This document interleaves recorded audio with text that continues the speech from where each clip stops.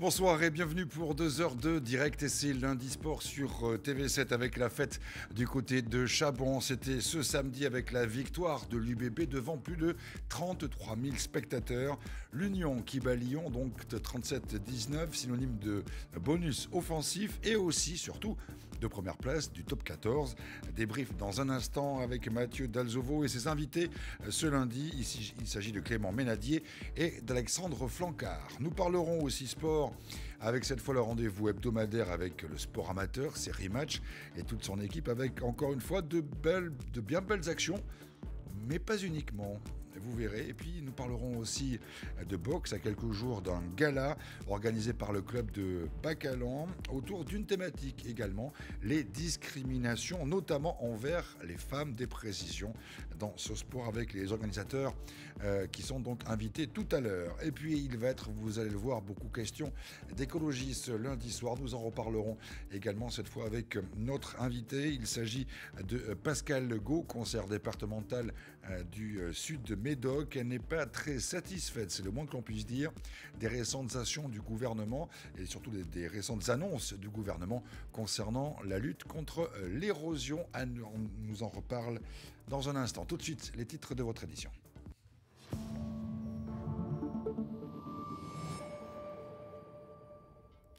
Et Yann Arthus Bertrand choisit Bordeaux pour lancer le Tour de France de son bus pédagogique. Il veut sensibiliser les jeunes et les familles aux gestes qui économisent l'énergie. Une question bien sûr essentielle selon lui. Un nouveau débat spécial municipal à Bordeaux, ce sera demain. Vous, euh, vous en saurez davantage sur les propositions des quatre principaux candidats sur le thème de la mobilité à Bordeaux, un thème qui fait parler s'il en est. Et puis nous ferons le point également sur une lettre d'intention signée entre euh, le bassin d'Arcachon et euh, la métropole bordelaise concernant à terme une meilleure collaboration entre les deux secteurs de Gironde, deux secteurs beaucoup plus proche n'y paraît. Et puis un coup d'œil sur les prévisions météo pour la journée de demain, avec alternance de passages nuageux, de quelques air verses et aussi de quelques belles éclaircies du côté des températures. Vous allez le voir, le thermomètre euh, va stagner autour des 12 degrés donc ce mardi. Je vous le disais donc, Yann Arthus Bertrand était de passage à Bordeaux aujourd'hui. Le célèbre écologiste est venu euh, lancer un bus pédagogique, vous le voyez sur ces images. Il souhaite ainsi sensibiliser les jeunes, mais aussi les familles aux gestes qui permettent de faire des économies d'énergie et donc de limiter son empreinte carbone. Il sera pour quelques jours ce bus dans l'agglomération bordelaise avant donc d'entamer un tour de France. Christophe Chavanot a pu rencontrer Yann Arthus Bertrand. Apprendre à économiser l'énergie au quotidien, c'est tout l'enjeu du bus Mission Énergie de la Fondation Good Planet, mené tambour battant par Yann Arthus Bertrand. Un bus en itinérance permettant de mieux cerner les enjeux des gestes durables à travers des jeux notamment, mais aussi un itinéraire riche en informations sur les consommations et leur impact sur l'environnement. Eh ben, ici à l'intérieur du bus, bah, vous avez, euh, vous voyez à côté de nous, on a déjà des contenus pédagogiques sur l'énergie, on apprend un peu plus sur la manière dont on la produit cette énergie, puisque en fonction de la manière dont on la produit, il y a des impacts très différents. Et puis ensuite, par exemple, là-bas, là, vous avez là-bas un, jeu vidéo qui a été spécialement développé pour parler de mobilité. Une course folle où les enfants vont jouer. Alors le, jeu, le but, c'est pas simplement d'être le plus rapide, c'est d'être le plus rapide, mais d'avoir le moins d'impact carbone. Donc pour comprendre quel moyen de transport je dois privilégier en fonction de la distance que j'ai à parcourir. Un leitmotiv pour Yann Arthus Bertrand dans son combat pour une véritable prise de conscience écologique devant le défi environnemental. Euh, quand tu parles de, la COP 21 et de l'accord qu'on a signé, que la France a signé, qu'on devrait, devrait, sans doute, on va essayer de respecter, c'est que chaque Français devra émettre en 2040 2 tonnes. Et aujourd'hui, on est à 12 tonnes euh, de carbone. Donc il faut qu'on réduise absolument, il faut qu'on divise par 6 nos émissions de carbone. Et ça commence sans doute par ce qu'on peut faire chez soi. Alors il y a beaucoup, beaucoup de choses qu'on peut faire, mais il y a des, espèces de petits éco-gestes. On a 100 appareils électriques, électroniques chez soi. Et tous ces appareils consomment une électricité dingue. La consommation d'électricité a été multipliée par 3 ou 4 depuis les années 50. Donc chacun aujourd'hui a un combat à mener avec, avec lui-même, parce que c'est l'ennemi, c'est nous, c'est notre consommation au quotidien. Il y en a qui peuvent faire beaucoup, d'autres qui peuvent faire peu, mais c'est important, je crois, de faire ce qu'on peut faire. En itinérance sur Bordeaux, le bus sera présent tout d'abord à la Victoire, puis au Chartron et enfin à Bordeaux-Lac, et ce jusqu'au 26 février. Voilà, et puis sachez également qu'un contrat de transition écologique a été signé aujourd'hui entre la rive droite de l'estuaire de la Gironde et la préfecture. Euh, il vise à développer l'économie locale pour l'écologie. De nombreux projets seront ainsi accompagnés autour des mobilités durables, des circuits courts ou encore des énergies renouvelables. Et puis justement, l'écologie, c'était précisément le thème du précédent débat TV7 Sud-Ouest sur les municipales à Bordeaux. Et bien ce mardi, demain donc un nouveau euh, rendez-vous avec quatre des principaux candidats autour d'une autre question centrale à Bordeaux, s'il en est, la question des mobilités. Quelques éléments de réflexion tout de suite avec Dominique Parmentier. Les automobilistes bordelais perdent en moyenne 156 heures par an dans les bouchons, soit l'équivalent de 6 jours et demi et 41 minutes par jour. D'après le baromètre TomTom, Bordeaux reste la troisième ville la plus embouteillée de France, derrière Paris et Marseille. Le principal point noir, c'est la rocade, notamment aux heures de pointe. Évoquée depuis des décennies, abandonnée puis relancée récemment, la solution du grand contournement semble avoir été définitivement enterrée. Et la mise à deux fois trois voies, toujours en cours et jusqu'en 2022, n'a pas véritablement réglé le problème.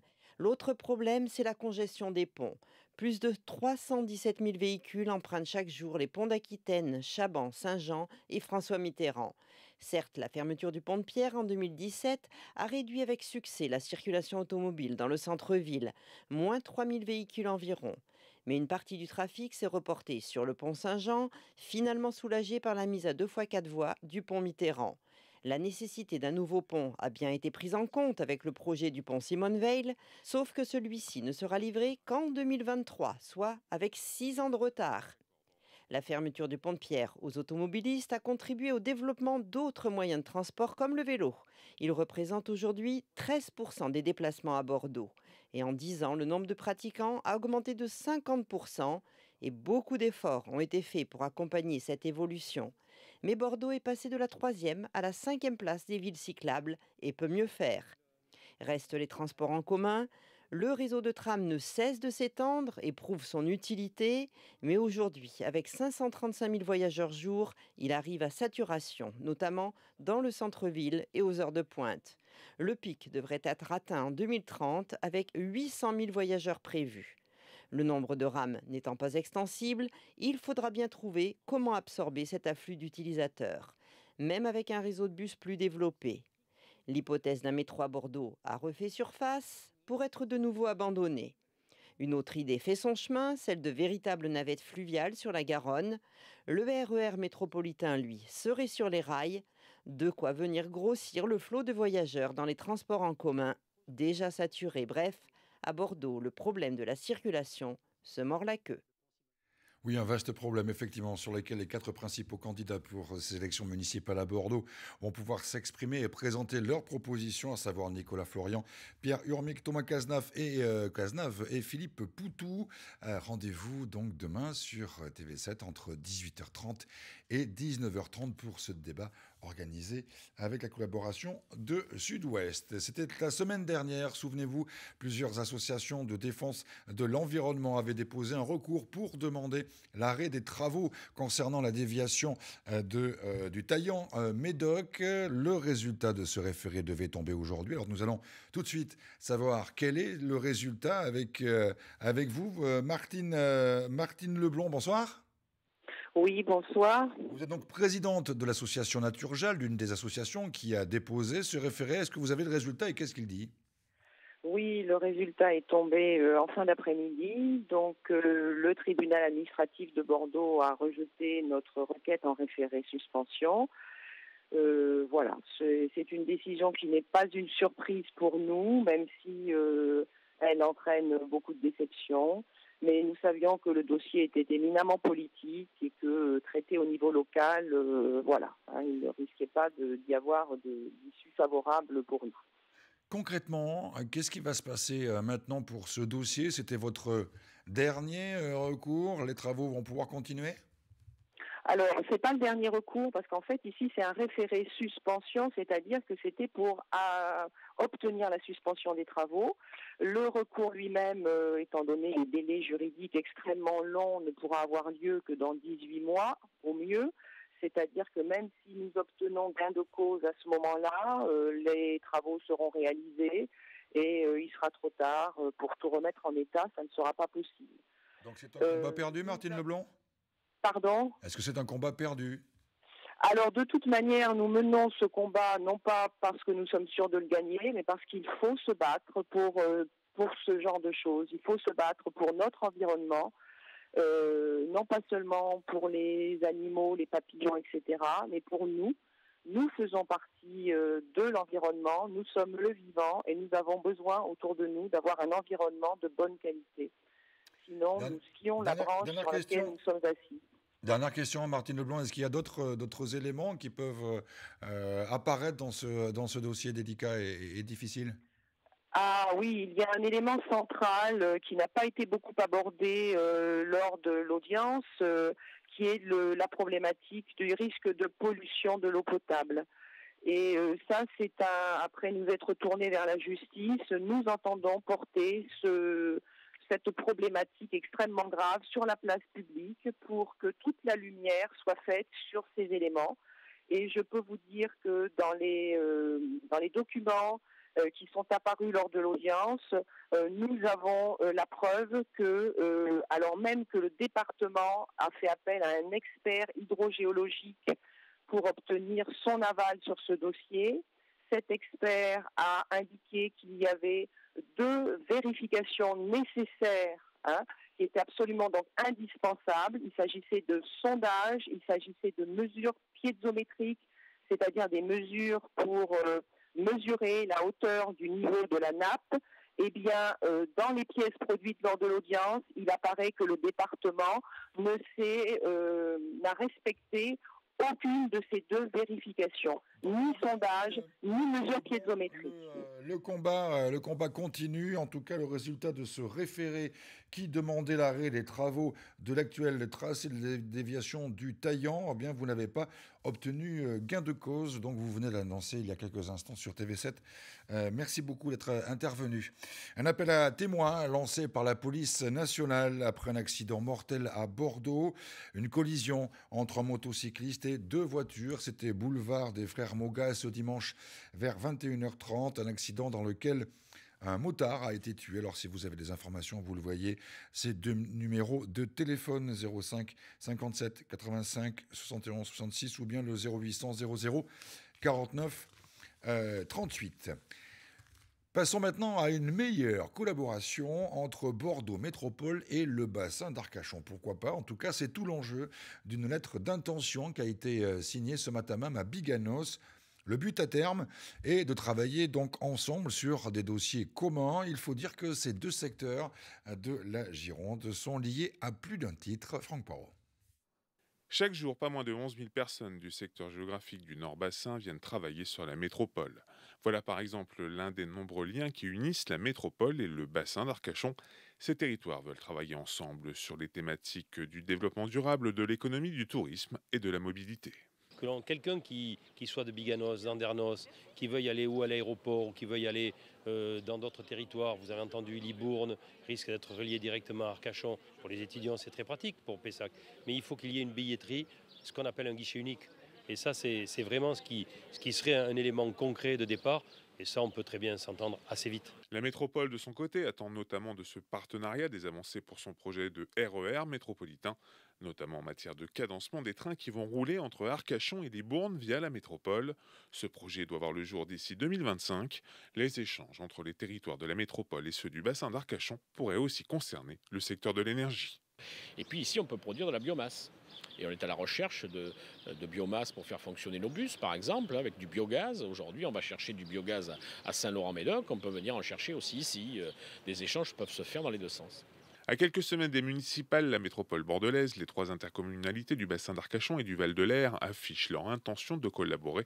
Leur intention seulement, le protocole d'accord, beaucoup plus contraignant, lui, sera négocié et discuté lors de la prochaine mandature par les élus sortis des urnes en mars prochain. Les Girondins de Bordeaux ont eu du mal, beaucoup de mal. C'était le week-end dernier au Stade Chabon face à, Dijon. Les Bordelais étaient menés 1-0 avant d'inscrire deux buts et se faire remonter dans le dernier quart d'heure. Bilan des courses, vous le voyez, un match nul de partout et une dixième place seulement pour les Girondins de Bordeaux. Et puis le match prochain s'annonce très délicat avec un déplacement du côté du, Paris Saint-Germain. Voilà, petit déplacement tranquillou. Allez, rien n'arrête en revanche.